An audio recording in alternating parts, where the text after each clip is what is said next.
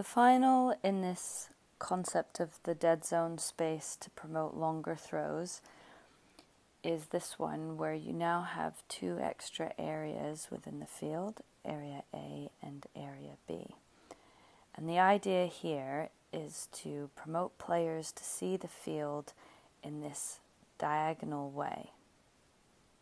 So what um, with sometimes with the way we play is if a player is here with the disc, they basically only see this space here or this space here, which isn't ideal. It's not aggressive, um, and it makes it very easy for the defense to stay on the right side of their people to stop the flow of the disc.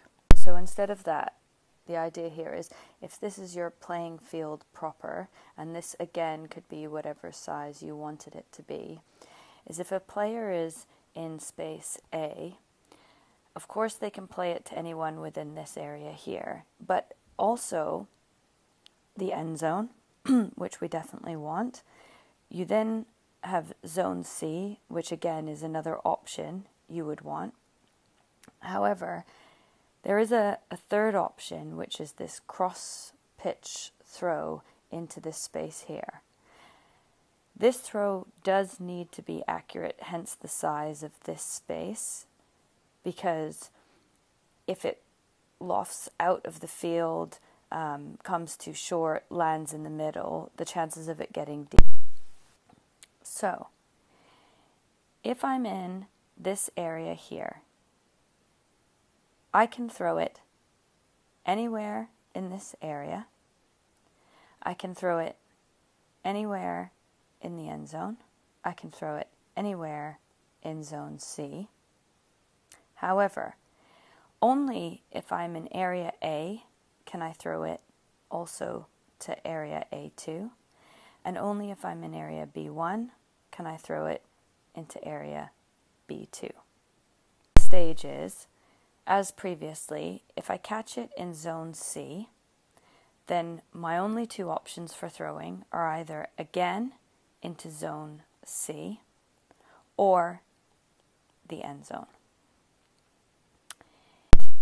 In area B, I cannot pass it back into any of this space here, so that can't happen.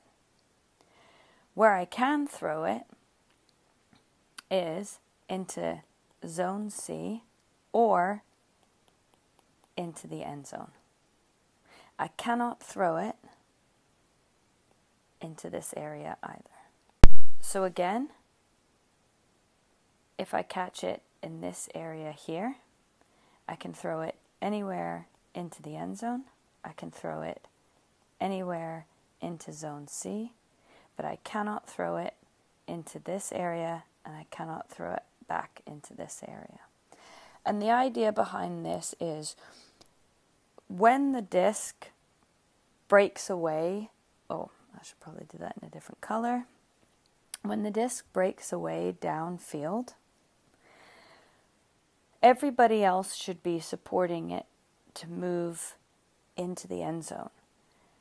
So, this is not just about throws being accurate to hit valid places that are likely to be more successful, but also the movement required by the other places to support the flow of the disc all the way into the end zone.